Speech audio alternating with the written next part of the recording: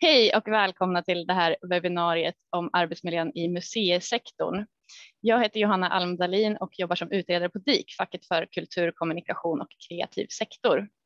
Idag ska vi prata om arbetsmiljön i museisektorn och de som deltar i samtalet är Laven Redar som är socialdemokratisk ledamot i kulturutskottet, eh, Jeanette Gustavsdotter som är generalsekreterare för Sveriges museer, Susanna Pettersson som är överintendent och myndighetschef för Nationalmuseum och Anna Troberg som är eh, förbundsordförande i DIK. Ni där hemma eller på jobbet om ni sitter där, eh, ni kan också delta genom att ställa frågor i chatten så plockar vi upp dem mot slutet av samtalet. Men innan vi kastar oss in i samtalet så ska jag kort presentera den rapport som ligger till grund för det här webbinariet. Eh, DIK gör ju återkommande rapporter om arbetsmiljön eh, bland våra medlemmar och i februari så skickade vi ut en enkät om arbetsmiljön i just museisektorn, både under pandemin och innan dess. Så ska bläddra fram här. Och rapporten visar att nio av tio museer har varit helt stängda under perioder och att åtta av tio har dragit ner på verksamhet.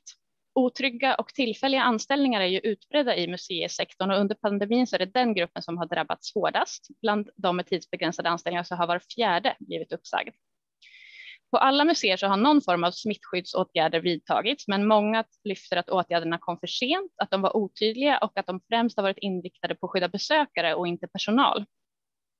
Personalen och museerna har dragit ett stort lass och gjort stora och snabba och kreativa omställningar för att fortsätta vara tillgängliga för allmänheten.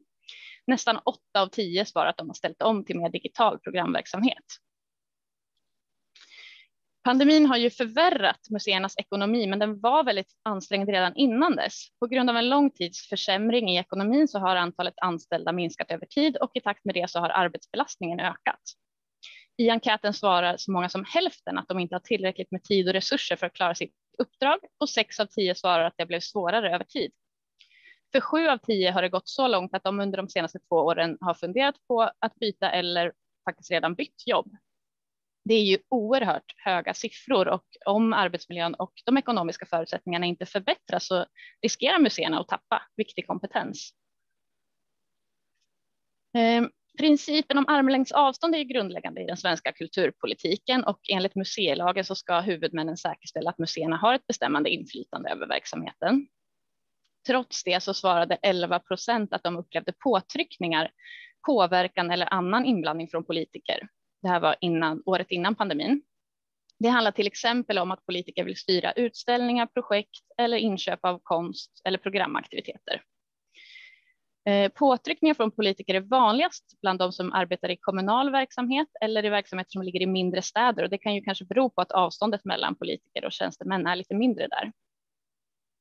Bland de som möter besökare så upplevde också var sjätte påtryckningar från allmänhet, till exempel kopplat till verk eller ämnen som uppfattas som provokativa.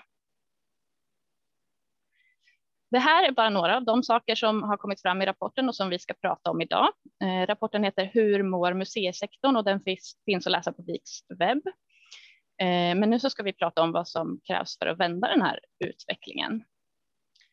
Eh, så, och jag tänkte att vi ska börja i situationen under pandemin.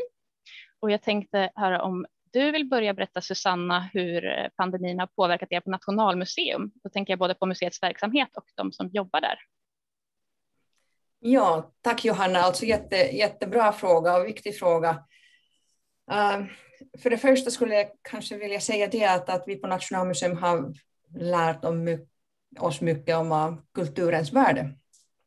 Att samhället inte fungerar utan sådana trygga och demokratiska platser som är öppna för publiken. Så att det har blivit väldigt, väldigt tydligt nu under pandemin. Och det är också något som rapporten visar, att, att pandemin har synliggjort museernas betydelse. Och då funderar vi på våra arbetsrutiner och hur pandemin har påverkat liksom verksamhet så att uh, vi har lärt oss att, att leva med osäkerhet, att ställa in och ställa om och såklart som nästan alla andra att, att arbeta med digitala verktyg och använda våra befintliga lokaler på ett annat sätt och uh, möta publiken digitalt. Det som har diskuterats väldigt mycket mycket, till exempel i tidningar och sånt, är pandemins äh, ekonomiska liksom, äh, ekonomisk påverkan till museernas äh, ekonomi.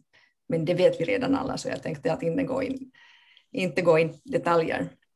Men det är såklart något som måste komma ihåg. Vi kommer nog att återkomma till det under samtalet. Eh, jag tänkte höra med dig också, Jeanette. Sveriges museer pratar ju med museichefer. Vad har ni hört från dem under pandemin om hur situationen har varit? Ja, vi har ju direkt kontakt med samtliga museichefer, mer eller mindre kan man då säga i hela Sverige. Och det har ju varit en enormt pressad situation. Och jag säger ju som Susanna säger, det här med ekonomin känner man ju redan till. Däremot så gjorde vi ju en nyligen eller en rapport som gjordes och presenterades i februari i år, där vi frågade just museicheferna hur det hade varit. Och den rapporten heter ju Museer under press. Och där var det ju väldigt tydligt att ekonomin var sämre än tidigare. Det var ju ändå relativt förväntat. Men det fanns andra resultat i den rapporten som var väldigt positiva. Och bland annat hur museernas, alltså cheferna, lyfte personalen och vittnade om hur mycket man hade varit flexibla, man har varit kreativa och hur mycket personalen verkligen har jobbat för att möta pandemin och möta besökarnas nya behov som då kom genom det digitala. Så att den kommer jag att återkomma lite senare, men jag vill lyfta den sidan också. Och det finns då som sagt var en nyligen gjord rapport som har tittat på detta från oss. Och jag anser ju då som sagt var oerhört pressat, oerhört tufft för museerna eh, och väldigt, väldigt sorgligt också såklart där man har behövt säga upp personal och det vittnar ju också museerna, museicheferna om hur jobbigt detta har varit. Men det finns också andra positiva ehm, eh, statistik som har kommit fram ur detta, bland annat just det här med hur man hyllar personalen. Mm. Ja, jätteintressant att höra. Jag tänkte gå vidare till Anna, för vi såg ju här i inledningen att många har drabbats eh, väldigt hårt. Men hur skulle du säga att DIKs medlemmar har berörts? Ja, alltså den verklighet som både Susanna och Jeanette beskriver, den, den ser ju vi också. Museerna har drabbats väldigt hårt under den här perioden på olika sätt. Men jag vill också ge en, en annan bild, för vi pratar ju med våra medlemmar som finns ute på, på museerna. Eh, och där kan ju vi se att framförallt alla de som har tillfälliga anställningar av olika slag har drabbats väldigt hårt och många har fått lämna sina jobb. Och det får naturligtvis väldigt stora konsekvenser för dem. Men det får ju också konsekvenser för de som fortfarande är kvar i verksamheten och, och eh, ja, står kvar med ungefär samma arbetsmängd men utan sina kollegor. Eh, och det kan ju också bli, det kommer vi säkert in på mer framöver också, det kan ju också bli svårt att få tillbaka all den här personalen sen. Man kanske väljer en annan sektor där man känner att det, är lite tryggare. Ehm, och då blir det ju ett kompetenstapp som man måste fånga upp på något sätt.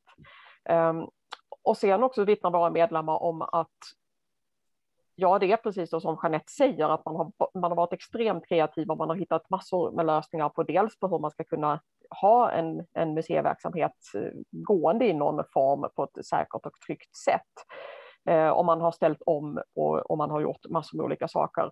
Men man vittnar också om att väldigt många av de här initiativen kommer från personalen och speciellt smittskyddsfrågor, att där var arbetsgivarna sena. Man upplever att insatserna kom väldigt sent och när de väl gjordes så kom de på initiativ av personalen. Och det är ju fantastiskt å ena sidan att man har en personal som är så på tårna, men samtidigt är det alltid arbetsgivarens uppgift att trygga arbetsmiljön. Mm.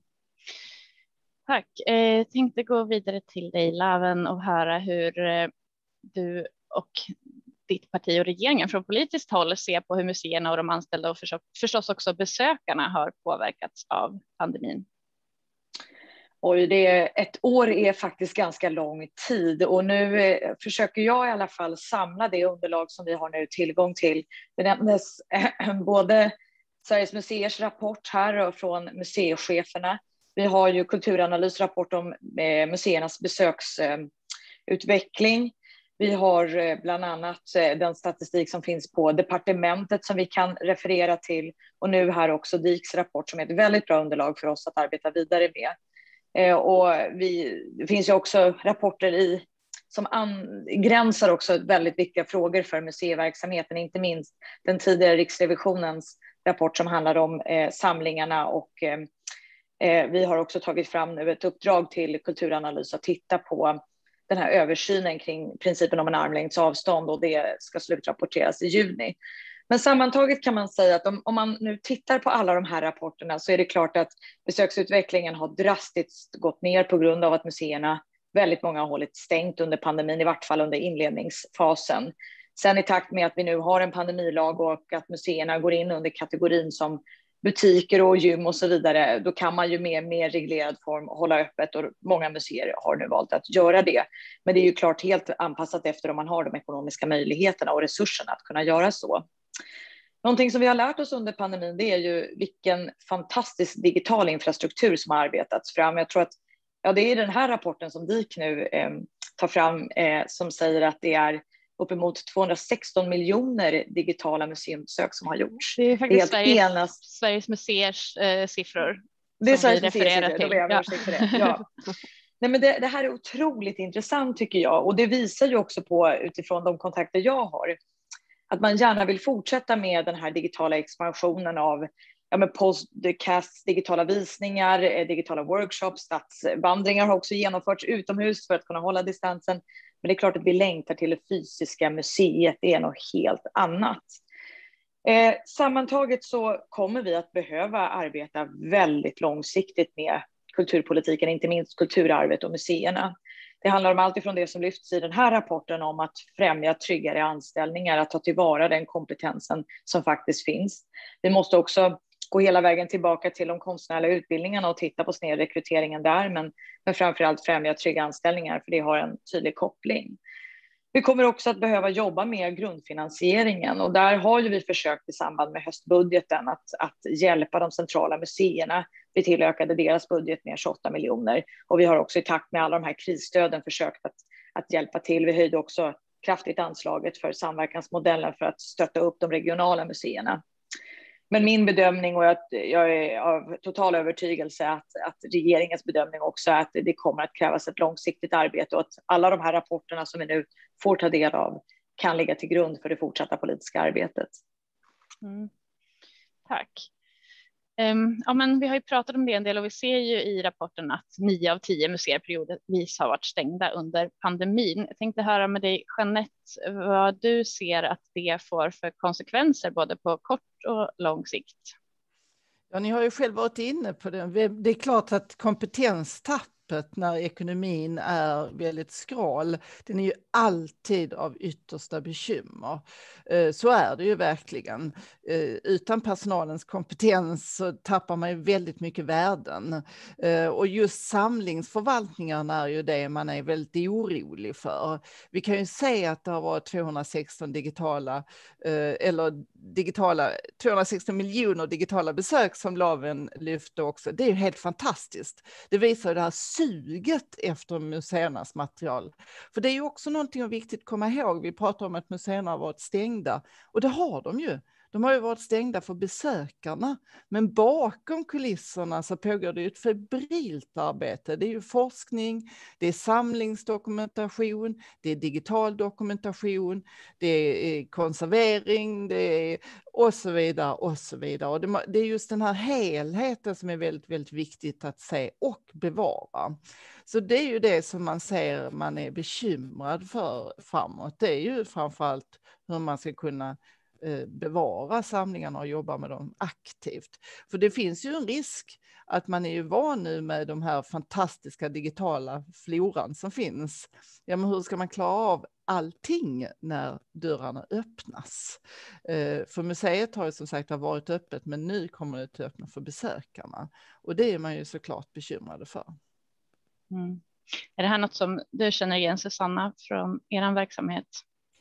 Ja, alltså det är nu jätte, jätteviktigt vad Jeanette säger här, så att, äh, vi har kunnat skapa en sån jättestor efterfrågan för alla sådana digitala tjänster under pandemin och det är jättepositivt så att, att, äh, publiken verkligen har hittat oss. Och när jag säger oss äh, refererar jag till hela museibranschen i Sverige och även globalt. Men att för att kunna tillgängliggöra våra fantastiska samlingar och olika programpunkter digitalt också i framtiden. Det är en sån tillgänglighetsfråga som vi, om jag skulle kunna nu liksom bestämma så att då skulle jag satsa liksom rejält eh, till det där digitala utbudet i hela, hela landet. Därför att nu är det, det är en fantastisk möjlighet att, att fortsätta med arbete, utveckla nya liksom, eh, liksom nytt digitalt museipedagogik för eh, nuvarande och framtidens generationer. Men det kan inte genomföras utan liksom resurser. Så att det, det är verkligen något som vi borde ta med oss från äh, dagens samtal. Mm, det är också något som kommer fram i rapporten att äh, många upplever att det tillkommer nya arbetsuppgifter kopplat till framförallt det digitala arbetet, men att det tillkommer inga nya personer som ska jobba med det, utan det läggs ofta på befintlig personal. Äh, att lösa och som redan har en ganska hög arbetsbelastning. Anna, vill du eh, fylla på någonting kopplat till det och hur man ska hantera det här framöver? Ja, alltså först och främst är jag helt enig om att alla de här lärdomarna, digitala lärdomarna som vi har gjort under pandemin, det måste vi ju ta med oss framåt. För helt uppenbart så finns det ju ett behov och det finns de som bor i, på landsbygd eller glesbygd som, som vittnar om att de helt plötsligt kanske har tillgång till mer kultur än vad de har haft tidigare, just för att det digitala arbetet har, har, har blivit en så stor del. Men sen är det ju precis som vår rapport visar att det här arbetet, det måste ju göras som någon och det är ju väldigt specifika kompetenser även här och det kan man ju inte bara lägga på den befintliga personalen som dels redan vittnar om att de har ont om tid, som vittnar om att de inte alltid har lätt att få fortbildning och så vidare, utan det här ska man ska man bygga vidare det digitala och det tycker jag absolut att man ska göra. Jag tycker att det är väldigt viktigt, så måste man skjuta till resurser så att det finns, eh, så att det finns möjlighet att ta in mer personal som kan jobba med de här frågorna. Mm. Laven, hur ser ni på det från, från regeringens sida? Alltså vi, jag tycker det är väldigt viktigt det som den här rapporten belyser, alltså med den kontinuerliga underfinansieringen som var innan pandemin och vad som har hänt under pandemin. Det sätter ljuset på en, en väldigt allvarlig situation. Eh, det här som beskrevs innan med att man eh, som anställd på museer upplever att man inte har tillräckligt med tid, man kan inte ta tillvara sin egen kompetens för att man belastas med väldigt mycket arbetsuppgifter och att det har med den, ekon alltså den ekonomin som museerna har att arbeta med att göra. Eh, jag noterade också några siffror i den här rapporten som jag tyckte var intressant och det är ju det här med 43 procent har angett att social oro på museerna är ett problem, att man eh, som anställd kan känna sig hotad eller eh, befinna sig i situationer som man upplever inte är så, så värst trygga. Eh, och fastän det är en väldigt hög siffra av antal människor som anser att eh, säkerhetsåtgärder har vidtagits på museerna så, så saknar man eh, som anställd, eh, i alla fall en tredjedel uttrycker det, att eh, man saknar utbildning för att kunna hantera svåra situationer. Det finns mycket i den här arbetsmiljöfrågan som jag tycker är väldigt, väldigt intressant. Eh, även om jag tror att politiken främst kan främja en bättre grundfinansiering så att man kan ta tillvara kompetensen, arbeta vidare med tryggare anställningsformer och på så sätt också kan främja fortbildning, utbildningar och så vidare. Men jag, jag kan verkligen förstå att med en underfinansiering så har man ju att arbeta med väldigt begränsade resurser och, och, där är ju en av de större kostnaderna för museerna såklart personal. Så det här är ju en fråga som jag tycker att politiken måste liksom ta tillbaka, att här behöver vi göra större och långsiktiga insatser för eh, de statliga museerna som direkt finansieras av politiken på nationell nivå, men också att utöka statens anslag av samverkansmodellen för att främja eh, de regionala museernas eh, intäkter. Men jag är också bekymrad över en, en, tredje faktor som också gäller ekonomin här och det är ju handslaget som vi har när det gäller samverkansmodellen med den kommunala och regionala sidan. Och där måste jag säga att jag, jag, är riktigt, riktigt bekymrad över hur kraftigt det dras ner i budget för kulturområdet i många regioner och också i många, många kommuner just nu. Och ska det här handslaget fungera mellan stat, region och kommun så, så måste vi nog både främja den dialogen men också uppmana regionala och kommunala politiker att ta kulturarvet eh, som en stor och viktig del inför framtiden. Jag kan väl bara säga att vi, vi i kulturutskottet fick några frågor mitt under pandemin om det var aktuellt för Sveriges museer i bred bemärkelse att sälja konst eh, och kulturarv under pågående pandemi för att klara finansieringen och det tog vi snabbt tillbaka till departementet att det här får aldrig förekomma. Så vitt jag vet så har det inte skett och det ska inte förekomma. Eh, och kanske beror det på också att vi har en ganska starkt offentligt finansierad eh, eh, museisektor. Men det är inte bara det. Vi har försökt också täcka upp för den delen som avser privata intäkter. Men jag, jag noterar att ideella och privata museer har haft en tyngre, tyngre situation ekonomiskt än, än vad kanske de främst offentliga finansierade museerna har haft. Och det måste vi också ta i beaktande när vi ska analysera vidare vad vi kan göra inför en höstbudget. Mm. Tack. Jag tänkte precis släppa in dig Jeanette såg att du viftade också för att ni har ju gjort eh, över längre tid undersökt museernas ekonomi och sett att den har, varit ansträngd eh, länge och det ser vi också i den här rapporten att eh, arbetsbelastningen har ökat över tid på grund av att man inte är tillräckligt många anställda. Så jag tänkte höra lite vad, vad ni ser i, har sett i era rapporter om du vill berätta lite om det. Ja, när det gäller ekonomin så kan jag säga att ja, det har varit så. Det har varit ett mångårigt problem. Det uppkom ju inte med anledning av pandemin. Däremot så har det förstärkts. Och det stora problemet är ju att anslagen inte räknas upp bland annat. Allt annat i samhället räknas upp. Hyrorna räknas upp, lönerna räknas upp, men anslagen ligger låsta. Det är ett stort problem för museerna. Bland annat det kan jag säga. Eh, Laven lyfte också det här med kultursamverkansmodellen och det bekymret man ser hos de kommunala och de regionala museerna just med anledning av hur kommunerna och regionerna skär ner på kulturbudgetarna. Och där kan jag bara bekräfta och vidimera och förstärka det Laven säger. Det här är en stor oro hos museicheferna, hos de kommunala och regionala museerna. Och de ser ju att det är just där man skär eh, hur ska jag säga, inte lätt på något sätt, men att det ofta är det man ser att det är det man tar pengar ifrån. Och det där måste vi också verkligen, verkligen ha ögonen på så att inte detta drabbar bland annat museerna. För museerna är ju trots allt motorn till kulturen. Det är så otroligt mycket som finns genom museerna och, och börjar man urholka det ännu mer så kommer man att urholka så mycket mer på lång sikt. Och inte minst hela, ehm, ja, hela demokratin och andra aspekter som då kommer att urholkas. Och när det gäller ekonomin som du sa så ser vi ju att detta är ett oerhört stort problem även framåt. Så det är ju någonting som vi hela tiden måste nöta på olika sätt och hitta lösningar på. Ja, precis. Jag tänkte gå vidare till Susanna. Eh, känner du igen den här bilden? Hur ser det ut hos er på Nationalmuseum? Jo, jag tänkte faktiskt bara eh, fortsätta kommentera lite grann vad Jeanette precis sa och eh, tänkte på ett sånt eh, exempel från Storbritannien i början av 2000-talet. Då bodde jag där och då de där kommunala och regionala museernas verksamhet och ekonomin var väldigt hotad.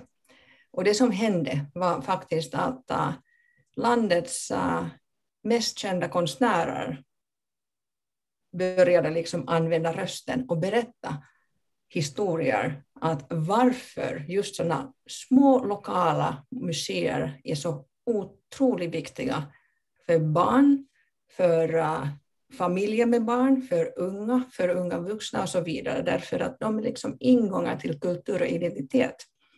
Och det är något som vi borde liksom komma ihåg hela tiden, att, uh, att uh, spara från liksom fel ställe är väldigt kortsiktigt och, och det, kan, det kan ha jättestora konsekvenser.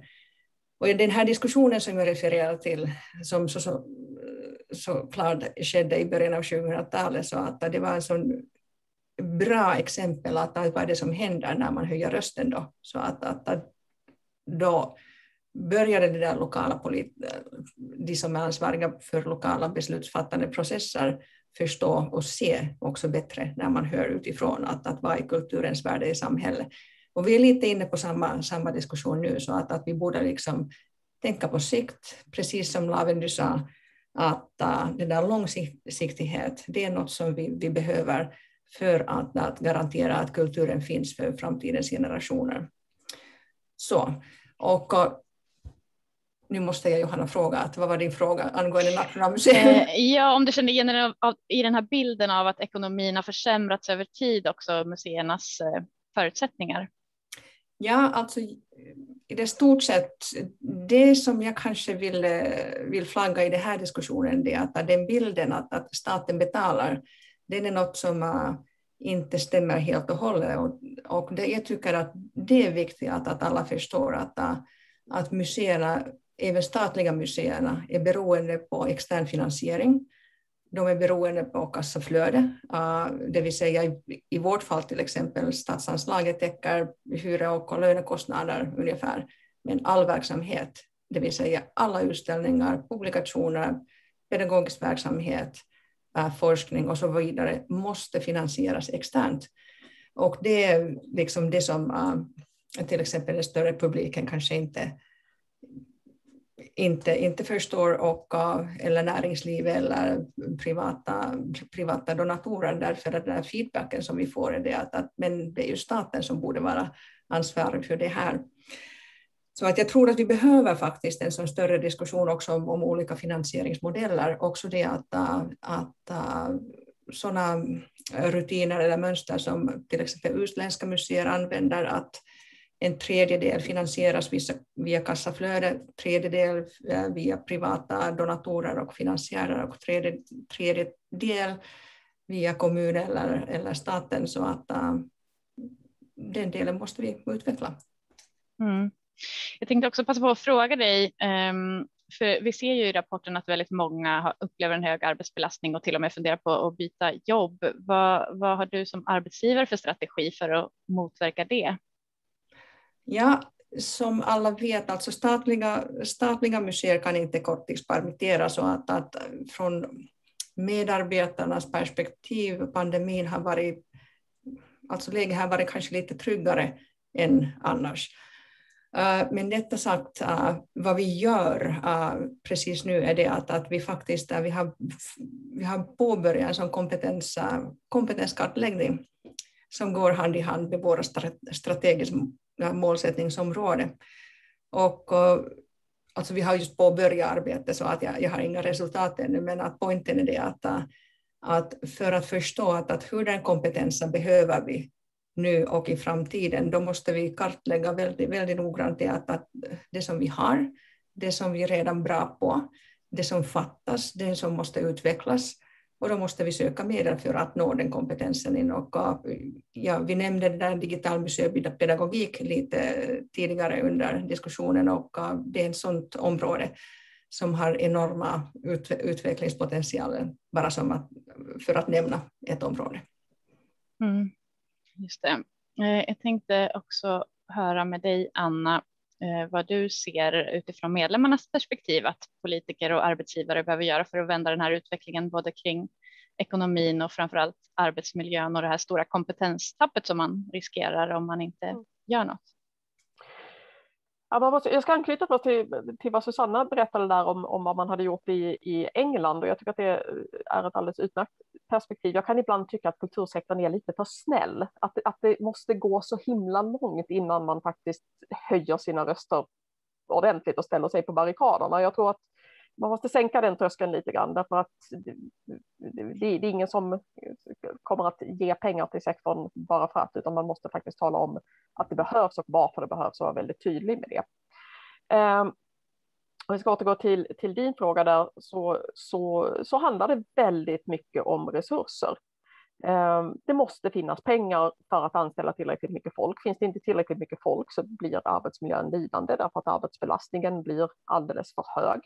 Eh, man får, precis som jag beskrivit innan, fler och fler uppgifter som läggs på och det bygger upp eh, stress och alla problem som kommer med det. Eh, men med det sagt så, så ger ju inte det arbetsgivaren ett frikort att ja, men vi har lite pengar så vi behöver inte tänka på arbetsmiljön. Det är alltid arbetsgivarna som har ansvaret för arbetsmiljön och har man inte tillräckliga resurser för att se till att arbetsmiljön är på den nivå som den ska vara, där personalen, personalen mår bra, där man känner att man får utlopp för sin kompetens, där man känner att man har tid att göra det jobb som man faktiskt är anställd för att göra. Då måste man ju se över verksamheten och se om, om det är någonting där man kan rucka på, för man kan inte eh, liksom töja på hur mycket personalen klarar av att, att göra hur långt som helst. Till slut så brister det. Och det vi ser i den här rapporten är att sju av tio anger att de under de senaste två åren antingen har bytt eller funderat på att byta jobb just på grund av arbetsmiljöproblem. Det är en väldigt hög siffra som man måste ta på allvar och, det, och då vänder jag mig till politikerna som måste tänka på ekonomin och på arbetsgivarna som måste se vad de kan göra i, i verksamheten, även om jag vet att, att deras ramar är, är små. Men, men det, är, det är inte rimligt att, att man ska behöva jobba under de förutsättningarna. Mm. Nu har vi flera som har viftat här. Susanna, du ville kommentera. Jo, jag tänkte bara det att äh, alltså nyckel i det hela är såklart att man måste balansera, balansera verksamhet med resurser så att äh, man kan inte planera något som inte kan genomföras med, med, med nuvarande resurser. Och om, när vi pratar om resurser då är det inte bara anslagspengar eller annat finansiering, men det är arbetstid, det vill säga varje arbetstimme är något som vi måste räkna med, och kompetens, alltså de där tre olika områden som vi måste, måste fundera på hela tiden. Och um, när vi till exempel på Nationalmuseum planerar så att vi har strategin, vi har VP-budget och vi har tydliga beräkningar att, att vad har vi råd med? Uh, och då tittar vi på arbetstimmar också för att inte överbelasta vissa områden och då har vi helt enkelt uh, nu på grund av just alltså de där resursfrågorna vi har några sådana vilande områden, det vill säga att, att, vi vet att vi borde åtgärda vissa områden och vi, måste, och vi har liksom till exempel digitaliseringsskuld, men att uh, inte kan vi, inte kan vi uh, jobba på alla fälten precis i nuvarande läge. Så att, att en, en annan sån kompetensrelaterade fråga som gäller hela, hela Sverige, alla nordiska länderna, alla baltiska länderna, hela Europa. Just under helgen hade en sån eh, diskussion med kollegan från Paris och vi pratade om det där liksom behovet att uh, utbilda duktiga ledare inom kulturbranschen, kulturindustrin. Och, uh, det är en sån jätte, jätteviktig fråga, inte minst därför att uh, kultur skapar och kulturindustrin industrin skapar alltså stora mängder av arbetsplatser. Inte enbart i Sverige men alla andra länder såklart också. Och, och kulturindustrin borde liksom ledas precis på samma hög nivå som till exempel företag eller andra, andra liksom businesses. Men att uh, ledare måste kunna innehållet, alltså det sakkunskapsområde som vi pratar om. Och för att uh, höja den kompetensen då behöver vi, då behöver vi också liksom resurser för att skola våra ledare. Mm. Jeanette, du eh, viftade också innan. Ja, det är ju utan tvekan så som Anna säger, och det vet ju alla som jobbar som arbetsgivare, att arbetsmiljön är utan tvekan arbetsgivarens ansvar. Uh, och Kanske är det som så att vi kommer se bättre resultat i nästa rapport som DIK gör. Jag, jag, säger inte att det kommer att bli så, men jag hoppas att det blir så. För jag tittar ju ändå på den rapporten som vi tog fram i februari i år, där cheferna verkligen hyllar sin personal och där man också vidimerar att sammanhållningen har stärkts på flera håll. Och det kan ju också då eh, leda till att man upplever som personal att man är med på ett annat sätt. Man, och det kan också leda till att man också känner eh, ja, en sammanhållning på ett annat sätt. Så jag hoppas ju på att det blir bättre resultat framåt. Jag vill också bara kroka på det som Anna sa, att kultursektorn många gånger har varit för snäll. Och, och så är det ju säkert, eller så är det. Det tycker jag också. Jag tycker också man ska skrika lite högre för att verkligen visa kulturens betydelse. Och är det någonting man kan pekar på så är det ju verkligen pandemi, alltså hur mycket pandemin har visat kulturens betydelse och hur mycket kulturpolitiken har hamnat på agendan. Det tycker jag personligen är väldigt, väldigt eh, positivt. Och jag kan lova att vi kommer att höja rösterna på olika sätt framöver. Eh, jag vill också peka på en annan sak i vår rapport som jag tyckte var väldigt positivt, lite kopplat till detta. Hela 89 procent av museicheferna som vi eh, frågade upplevde att museet har goda möjligheter att vara en stark samhällsaktör och bidra till det offentliga samtalet. Hela 89 procent, det hade gått från 76 procent till 89 procent. Det gör, tror jag, att det kommer att bli lite mer höjda röster framöver för att just lyfta kulturens betydelse och museernas. Mm. Tänkte jag släppa in dig i Hur eh, ser du på det här som eh, både Susanna och Anna och Jeanette har lyft nu från politiskt håll, just att eh, ja, men ekonomin har varit ansträngd över längre tid och det påverkar arbetsbelastningen. Mm. Det är ingen nyhet heller för, från, eller utifrån det som jag har hört under en ganska lång tid här. Jag tar med mig i alla fall några reflektioner utifrån det samtal som har varit nu, att arbetsmiljön och arbetssituationen med väldigt många som har tillfälliga anställningar skadar också museets egentligen kvalitativa legitimitet. Att här behöver man jobba med det som Susanna är inne på, en, en stark finansiering som skulle mycket väl kunna se ut på olika sätt. Där kanske vi skulle behöva en förstärkt dialog från den nationella politiken och eh, i alla fall de statliga museerna kring hur en, en eh, finansieringsmodell inför framtiden som är mycket mer hållbar skulle kunna diskuteras då också för att såklart främja tryggare anställningar och en bättre arbetsmiljö. Så det, det, tar jag verkligen med mig. Eh, det här med digitaliseringens framfart behöver ju också en finansiering. Eh, det har vi diskuterat under en lång tid inom politiken, men det är någonting som, som har blivit ännu tydligare med pandemin hur mycket mer museerna vill jobba med detta. Det framgår också av samtliga rapporter och här behöver politiken lyssna för att eh, stärka en sån finansiering också inför framtiden.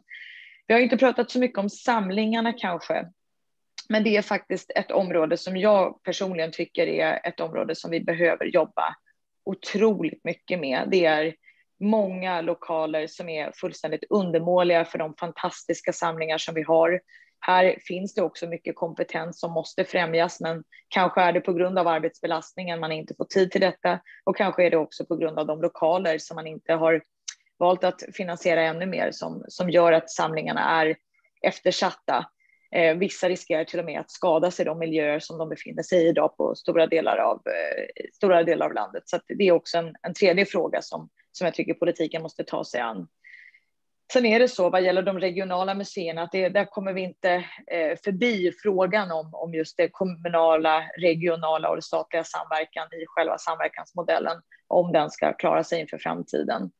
Men det viktiga tror jag, eh, det är just det som, som eh, vi står inför här till hösten. Det är eh, kulturens återstartsrapport som kommer att bana väg för vad politiken egentligen kommer att behöva göra långsiktigt för att komma åt det kulturtapp som samhället har fått genomgå under det här året. Och då med stor tanke på barn och ungas bildningsresa under det här året, vilket enormt tapp man har gjort vad gäller kulturen.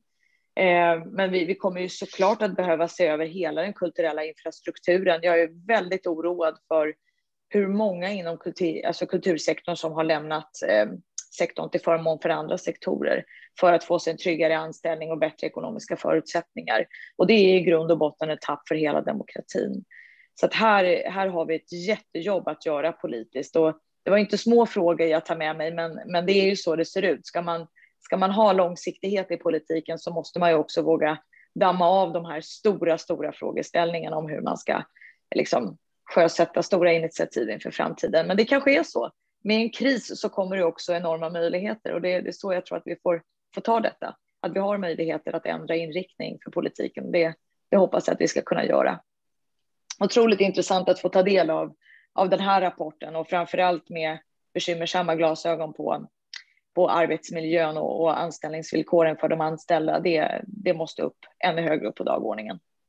Jag tänkte också fråga dig eh, hur du ser på liksom hur man politiskt har hanterat den här krisen. Det har ju kommit lite kritik om att man till exempel har låtit museer vara stängda medan gym och idrottsanläggningar har kunnat vara öppna trots att museer i många fall i alla fall har kanske bättre förutsättningar att ha en smittsäker verksamhet. Hur ser du på det? Jag kan väl, det, det jag landar i det är att Sverige juridiskt sett hade ju ingen pandemilagstiftning eh, när vi klev in i pandemin i februari, mars. Det kanske till och med var ännu tidigare, det får vi se vad Coronakommissionen säger. Men eh, det har gjort att vi har fått lära oss otroligt mycket under tiden och det, det regelverk vi hade att arbeta med för att garantera att människor håller avstånd, det var ju grundlagen och sen ordningslagen. Och med tiden så hade man ju kanske snabbare kunnat eh, framställa en pandemilag med differentiering. Men där eh, är det ju en lärdom som jag i alla fall drar att väldigt, väldigt hårda nedstängningar skadar också människor. Eh, bristen på kultur under det här pandemiåret när så många genomgår sorgeprocesser, genomgår oerhört svåra frågeställningar inför livet och att inte då kunna mötas av en fysisk eh, kultur, eh, det har tagit otroligt hårt tror jag på befolkningen. Sen är det klart att vi, vi har ju kunnat arbeta mycket med digitaliseringen. Jag vet att stora bolag har ju försökt främja inte minst public service med, med sändningar av mycket kulturella aktiviteter och konserter och så vidare. Men jag tror att en, en stark lärdom man kan dra det är att kultur behövs under en kris också. Och detta måste vi ju kunna eh, lösa genom framtida regelverk. Men det är klart, jag, jag förstår eh, den eh, frustration och den kritik som framförs till politiker om att kultursektorn har kunnat vidta kanske ännu bättre säkerhetsåtgärder än andra verksamheter i samhället. Och jag är nog av uppfattningen efter att ha besökt en del kulturverksamheter här på sistone att det mycket väl ser ut så att eh, avstånd verkligen upprätthålls, att man är otroligt skicklig med att eh, visa på att kultur ska kunna genomföras också under eh, det här tuffa läget. Men jag kan inte säga någonting annat än att vi, vi får ta lärdomar av det här och inför en framtida pandemilag så, så måste vi kunna se till så att kultur ändå kan genomföras under en kris. Men det här med sista eh, delen som genomfördes med pandemilagen, att sätta in museerna och konsthallarna och gallerierna under samma regelverk som gäller för butiker och gym, eh, har ju varit ett steg för, för politiken att lära sig att det faktiskt går och att det funkar väldigt väl. Eh, och jag är också imponerad över den personalen som har vidtagit de här enorma kunskapsinhämtningarna och genomför det här arbetet på museerna och på gallerier. Eh, jag har varit nu senast på mitt första museibesök, jag är en ganska van museibesökare, men eh, där jag upplevde en enorm trygghet. Så att, eh, det är all respekt och tacksamhet inför att det också upprätthålls. Mm, tack. Eh, jag såg att du viftade tidigare Susanna, så du kanske hade något specifikt du ville kommentera, men jag tänkte också fråga dig om du vill eh, svara på det som Blaven sa nu och hur de politiska förutsättningarna har påverkat er och er verksamhet och vad du ser att man behöver ta med sig för lärdomar inför eventuella kommande kriser. Ja, uh, om jag får först kommentera något väldigt, väldigt viktigt, eh, vad du Laven sa om samlingarna. Så att uh, det är nu nämligen så att uh, om vi, om vi funderar på alla sådana samlingar som finns i, i olika museer i Sverige, så vi pratar om enormt stort kulturarv. Och just det där kulturarvperspektivet är något som, när jag brukar liksom föreläsa till, till studenter, uh, när jag undervisar museihistoria och samlingsforskning, så jag brukar jämföra samlingarna till uh, dåtidens internet, alltså att, att före 1990-talet när internet inte fanns. Så att då minnesorganisationer som museer, bibliotek och arkiv, det var liksom ingång till, uh, till kultur, kulturarv och uh, information. Och det får vi absolut inte glömma bort när vi pratar om våra samlingar det som vore ganska, ganska intressant att, att fundera när vi tänker på framtiden är att, att olika samarbetsmodeller i Sverige mellan, mellan museerna i Sverige. Och nu tar jag exempel från grannlandet Finland där man började arbeta med landsomfattande samlingspolicier redan uh, i början av 2000-talet. Uh, eh, och uh, det betydde att, att kommunala museer, regionala museer, museer med specialansvar, de började analysera, analysera sina samlingar, samlingarnas historia, det som man är riktigt bra på, det som man inte har samlat alls, alltså olika sådana features på, eh, alltså från nära håll. Och då samlade man liksom kunskap på landsomfattande nivån och bestämde, gjorde sådana arbetsfördelningar att eh, för att undvika den situationen att alla skulle samla precis samma sak så delade, delade man arbete och samtidigt liksom ökade kunskap när det gäller samlingar så att, att just sådana initiativ kunde vi, kunde vi också tänka, tänka här. Uh, en annan sak som jag tänkte när jag lyssnade på, på dig Lavene, det är att, äh, att vi pratar som du, du var också inne på lite tidigare, vi pratar om långsiktigt arbete och då är det så att, att när det gäller politiskt beslutsfattande, då jag skulle säga att de två viktigaste ord är det att våga investera. Våga investera i kultur och museibranschen därför att äh, det här är inte något som kunde kallas, kallas liksom äh, fast track arbete, inte alls. Alltså vi, behöver tid, vi behöver den kunskapen och vi, vi behöver liksom äh, sådana bra och trygga beslut som skapa förutsättningar för den grundfinansieringen. Och då, då, skulle jag också utmana liksom museifältet eller museibranschen i landet så att, att vi måste kunna hitta sådana lösningar att vi, vi samarbetar mera. Och då tillbaka till den frågan Johanna som du ställde om den där politiska att hur ser den där politiska situationen ut? Där är vi lite inne på samma tema, alltså den långsiktighet. Att, äh, att om allt förändras vart fjärde år eller något liknande så att det är inte bra för sektorn. Så att, att vi, måste, vi måste kunna lita på det att, att vissa sådana grundlinjerna hålls oavsett uh, politisk uh, ledning. Um, och uh, då är det självklart att när vi pratar om armlängdsprincipen så att det måste man respektera. Annars hamnar vi i en sån situation där Polen eller Ungern är och vi vill inte dit. Väldigt kort och koncist. Mm. Tack. Anna, du vill också kommentera. Jag tänkte att du kanske också vill säga något om vad du ser att man behöver ta med sig för lärdomar framåt och hur beredskapen kan stärkas. Ja, jag, jag tänkte komma dit. Jag ska börja i vad Jeanette sa, att arbetsgivarna har varit väldigt eh, översvallande med, med att berömma allt som personalen har gjort. Och det, det, jag instämmer ju i det och jag tycker att det är väldigt bra. Men man måste också komma ihåg att även om det är väldigt viktigt att få en klapp på axeln i, på jobbet, så här, ja, men ni gör något bra, det är jätteviktigt för den allmänna, liksom, att man ska må bra på jobbet. Men månad ut, månad in, kanske år ut, år in och så får man en pandemi på det här där man är man har för mycket arbete, man är för få människor. Alltså, någonstans så behövs det någonting mer. Det behövs en annan typ av uppskattning och den uppskattningen är att man planerar arbetet så att det inte blir för mycket för, för, för de som finns på plats, att man får en schysst lön som reflekterar den kompetens man har och det man faktiskt gör. Alla de här grundläggande sakerna, det är det bästa tacket man som arbetsgivare kan ge. Annars så tenderar det över tid att, att, att bli lite så när man applåderar åt, åt sjuksköterskor för att de gör ett fantastiskt jobb. Ja, men, eller så ser man till att de får en bättre arbetsmiljö och bättre förutsättningar. Ehm, så jag, så jag tänker, jag, jag, menar inte att det är fel att ge någon en klapp på axeln för att de har gjort ett fantastiskt jobb. Det, det måste man göra och det är viktigt. Men det får liksom inte sluta där. Men sen så är jag ju naturligtvis också helt medveten om att en pandemi var kanske ingenting som vi hade förväntat oss allihopa. Det är inte lätt för någon, inte heller för arbetsgivare att ställa om väldigt fort.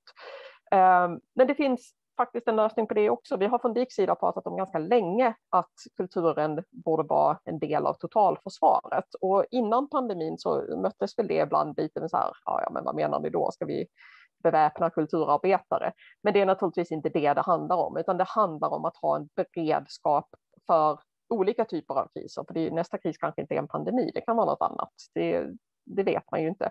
Men att man ändå har en grundberedskap för vad händer när någonting rubbar hela samhället och vi som institution ändå måste ha en fungerande verksamhet.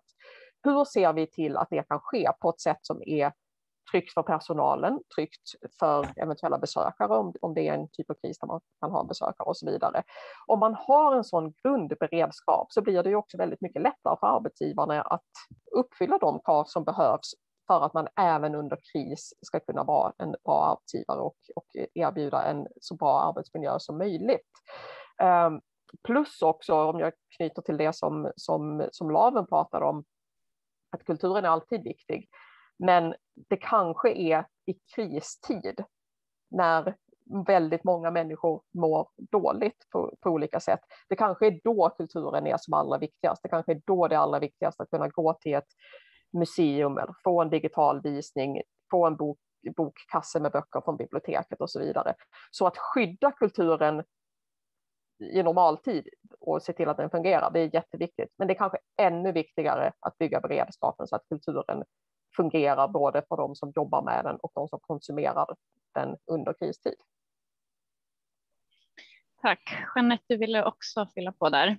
Ja, jag vill verkligen bara förstärka det jag sa tidigare så att inte annat tror att jag bara tyckte att det kunde vara en klapp på axeln till personalen. Nej. För det tycker jag absolut att självklart inte. Jag är helt övertygad om, och det vet jag också när jag träffar museicheferna, hur mycket de faktiskt försöker göra det här grundläggande som Anna pratar om. Det är ju hela stommen i när man jobbar med personal och att ge högre lön och allt det här. Och det är ju det vi pratar om, just de ekonomiska förutsättningarna också och hur mycket vi pekar på att det här måste verkligen lyftas som ett viktigt eh, faktor framåt och att man måste höja anslagen och allt det här. Så nej, inte bara en klapp på axeln, absolut inte. Men däremot blir jag ändå väldigt glad när jag ser hur mycket eh, det här arbetet har stärkts under pandemin och att man verkligen, verkligen lyfter fram och hyllar sin personal. Det är i alla fall någonting som jag gläds väldigt mycket när jag läser om det, men det är självklart att det grundläggande ska finnas där och det är jag övertygad om att det finns också. Jag vill också lyfta fram att vi kommer fortsätta den här debatten, bland annat på Kultur i Almedalen, så vi kommer att sända Almedalsdagarna. Vi jobbar just nu på att ta fram en sån här rapport om museilagen och armlängds avstånd. För det är extra viktigt att mäta det under en pandemi när det är kris. Vad händer då och vad händer framåt när det gäller just armlängds avstånd från politikerna till museerna? Är det, finns det en risk att man är ännu mer inne då och styr? Och det kommer vi att veta eh, under Almedalsdagarna, för då presenterar vi den nya rapporten. Och jag vill ju verkligen, verkligen instämma med det Susanna sa våga investera. Det är avgörande nu framåt. För även om man då märker under en kristid vikten av kulturen så kan den vara än viktigare nu när vi börjar öppna upp och väldigt många mår dåligt. Att faktiskt jobba med kulturen som den läkande sammanhållande kraften. Mm. Ja, Verkligen. Jag tänkte att vi ska prata lite mer om just armlängds avstånd, för vi ser ju här i rapporten att eh, det är, händer att politiker lägger sig i verksamheten och styr. Ja, men till och med sådana saker som inköp av konst. Um, Anna, det här är något som DIK ser för flera av våra yrkesgrupper inom kultursektorn. Vad får det för konsekvenser? Ja, det får ju stora konsekvenser. Vi, vi organiserar ju också bibliotekarier och även biblioteken råkar ju ut eh, för de här problemen. Ehm, det blir ju naturligtvis ett stort demokratiskt problem, men det blir också ett arbetsmiljöproblem därför att eh, människorna som jobbar på, på ett bibliotek eller på ett museum som utsätts för den här påtryckningen, det, det, skapar inte den bästa miljön för dem. Över tid kan det också så sakteliga börja påverka vilka beslut man fattar. Det beror lite på hur den här påverkan ter sig. Eh, det kan också se olika ut. Eh, den som vi tar upp i den här rapporten, där handlar det om, om politisk påverkan från politiker. Eh, och då är ju 11 procent en extremt hög siffra och det ska bli väldigt intressant att se hur den siffran ser ut om två år när vi gör nästa rapport. Um, för det, det, är definitivt en siffra att hålla koll på. Men det är ju också så att när politiker är väldigt aktiva och går ut och, och eh, lägger sig i vad, vad ett museum ska göra, vilka utställningar man ska ha och så vidare. Det får ju också en svans av andra människor som, som också deltar i det här och på olika sätt eh, sätter en väldig press på, på personal och, och också chefer naturligtvis. Det kan vara sociala medier och så vidare som skapar en otroligt pressad situation och en otrygg situation som är svår att förhålla sig till.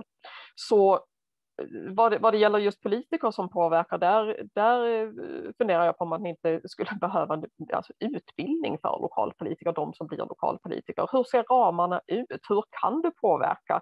Vad kan du inte påverka?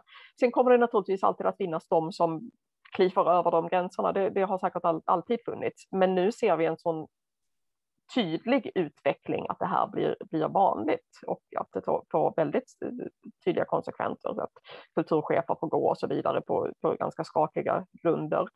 Ehm, så här behövs det definitivt en utbildningsinsats så att man vet som lokalpolitiker var gränserna går och då blir det också lättare att göra någonting åt dem som definitivt går över de gränserna. Mm. Eh, Susanna, känner ni igen det här på Nationalmuseum? Eh, gör ni något för att motverka politisk inblandning och för att de som jobbar på museerna också ska känna sig trygga med att motivera utställningar och verksamhet för politiker men också för allmänhet?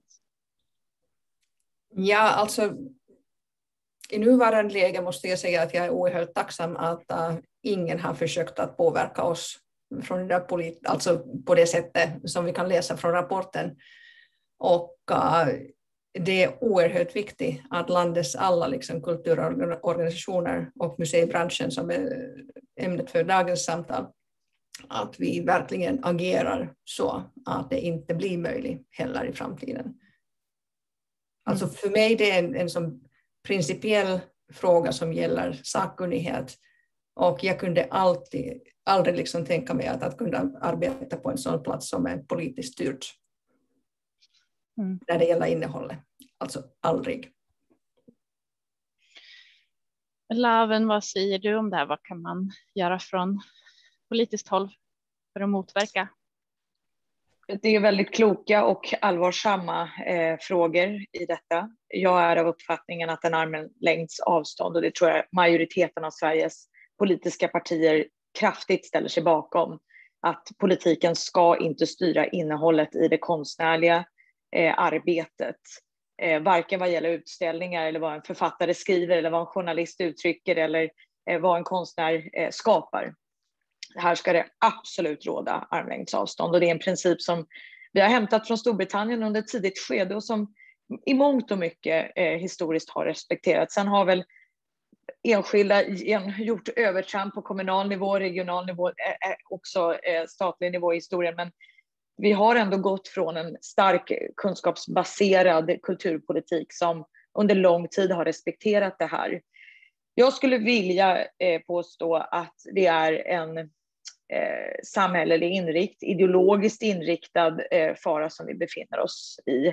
Framförallt i närliggande länder där man ger sig på museernas eh, frihet och inskränker den, eh, journalisters frihet, inskränker det eh, jag vet inte, det är under gårdagen här som, som en journalist genom flygkapning i Belarus eh, har tillfångatagits. Eh, det, det, är så otroligt nära oss den här typen av fruktansvärda övergrepp mot den konstnärliga och journalistiska friheten görs. Jag blev väldigt tagen av eh, den här polisanmälan som genomfördes gentemot eh, Norrköpings stadsmuseums utställning om eh, historien om svensk nazism. Eh, hur politiken liksom angriper eh, ett museums frihet att kunna få bedriva den här utställningen eh, det genererade i och för sig lite komiska effekter av att man tog in polisanmälan rakt in i utställningen och ville spåna vidare på den här debatten. Men det är en tydlig markering att det här, nu går politiken för långt. Det är också i de kommuner som faktiskt, jag är av uppfattningen, man kan bjuda in andra politiska representanter som får redogöra för hur man ser på det, men att det är Sverigedemokraterna i Sverige som bedriver en instrumentell kulturpolitik där man gör eh, angrepp gentemot eh, bibliotekens frihet, museernas frihet, den konstnärliga friheten angriper samtidskonsten väldigt hårt. Och det här kan motarbetas både med det som Anna är inne på, en fortsatt insats för att politiker ska förstå och ha kunskaper om den, principen om en armlängds avstånd. Vi tar ett initiativ nu från nationell nivå där eh, Kulturanalys ska lämna sin rapport här 10 juni om hur den här principen ska kunna upprätthållas på nationell, regional och, kommunal nivå. Det är väldigt bra. Alla vi behöver kunskaper om detta närmare. Men jag, jag vill ändå flagga för att det också har eh, starkt med ideologi att göra om hur man ser på konsten och kulturen, om den ska fortsätta vara fri eller inte. Eh, och jag är väldigt glad över, på tal om det Susanna var inne på, en, en men, eh, konstnärer, kulturskapare, museichefer är inne i den här debatten, vill tydligt markera att det här är att gå för långt. Eh, och vi kommer fortsätta att behöva ha en, en sån här debatt och diskussion. Någonting som jag reagerar på i den här rapporten, det är både den här siffran som Anna är inne på med 11 procent och att det faktiskt eh, främst avser kommunala eh, verksamma politiker. Där vet inte jag om, om det är så att det är flera partier som, som är ansvariga för övertramp. är det så så behöver vi ju verkligen arbeta med kunskapsinsatser och såklart att markera avstånd mot den här typen av eh, övertramp. Det ska inte förekomma. Mm. Tack. Vi börjar få slut på tid, men jag tänkte som en avslutning att ni alla var och en får säga väldigt kortfattat, 10 sekunder max, vad ni ser är den absolut viktigaste insatsen för att förbättra arbetsmiljön i museisektorn. Jag kan börja med Susanna. Man måste planera, alltså planera, planera och planera. Och då måste man, man måste vara väldigt tydlig med inriktningen. Mm. Lyssna på medarbetare och göra saker. Inte bara skriva papper, men göra. Uh, medarbetarundersökningar som, som genomförs måste tas på allvar och användas också för att utveckla arbetsmiljön. Tack. Jeanette? Planera och utbilda, även när det gäller ledarskapsutbildningar. Det är oerhört viktigt. Det är mitt medskick. Tack. Laven? Jag kan ju inte säga någonting annat än det Susanna sa, att vi måste våga investera från politikens sida. Men jag tycker också att dialogen, politiken och eh, museisektorn kan förbättras och förstärkas här för att gemensamt titta på lösningar om hur vi kommer åt de här problemen. Så det tar jag med mig. Tack. Och Anna? Bra saker har ni sagt allihopa. Jag eh, slår också in på att våga investera. Det behövs resurser för att kunna göra många av de här sakerna som vi har lyft upp som behöver göras. Ehm, för att det ska bli en bättre arbetsmiljö, för att vi ska kunna trygga kulturen. Så investera, bygga beredskapen så att vi kan inte står helt oberedda när det dyker upp kriser. Ehm, och också fortsätta lyfta vad kulturen faktiskt bidrar med till samhället vad vi får ut av den. Tack och stort tack till er och till er som tittade eh, och tog del av samtalet. Eh, vi hann tyvärr inte plocka upp några frågor från chatten, men jag ser att flera har, varit inne och svarat under tiden i panelen och vi kommer också eh, svara på dem i efterhand och man kan alltid höra av sig till oss på DIK också om man har någon uppföljande fråga. Så tusen, tusen tack. Tack.